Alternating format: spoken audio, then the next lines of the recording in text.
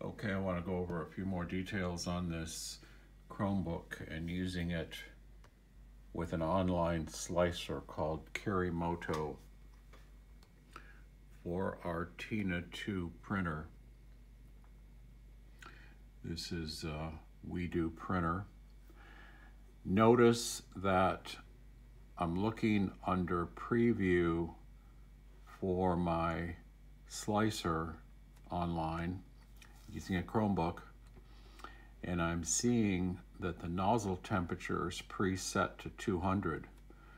I did not see that initially and didn't realize that that temperature is lower than what I want.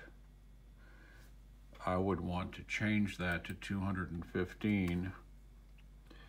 I believe that is a better temperature because I believe I've had some faulty prints because my um, nozzle has been too cool. Also, I found an extender for my spool holder right here. It's under WeFun, not Weedo, but it still works. Tina 2 large spool arm for my printer for larger spools. It's a two-part item and it um, has holes that match the standard spool holder. So I printed a larger, longer spool holder for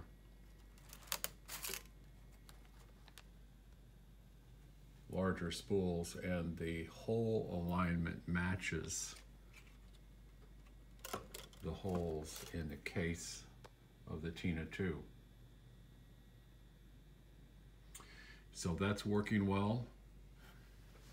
We're printing some large gears that go that have the plus hole on the forward and axle for our Lego Robotics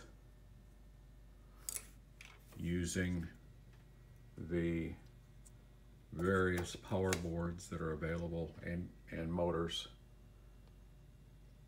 So this is working. It's printing for us well using the Kiri:Moto that comes under Grid Space Kiri and you choose your um, machine right here under setups and machine.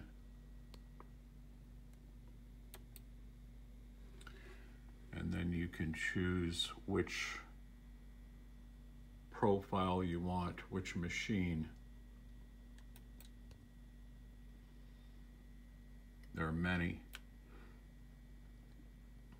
And Tina 2 has been added, Tina 2 Basic has now been added so we can use a Chromebook to do our slicing. There'll be more.